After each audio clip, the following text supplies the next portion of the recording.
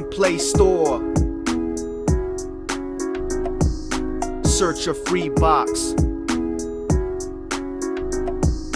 Click on install option. Close Play Store. Then open Google. Search qb.exe download. Click on first link which you see on screen. Drag and scroll down.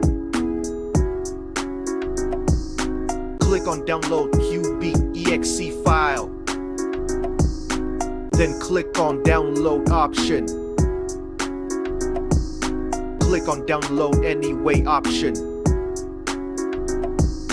After downloaded, close the browser. Open a free box app.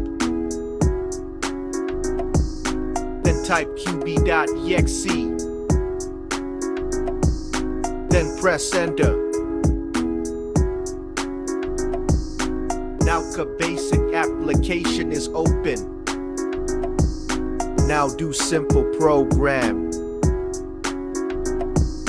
Let's go and start. After finishing, run the program.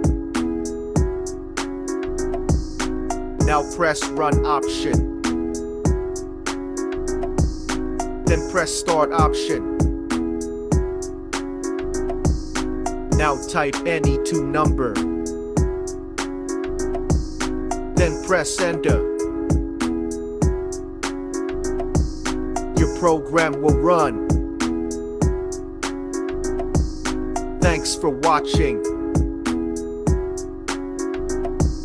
And subscribe my channel.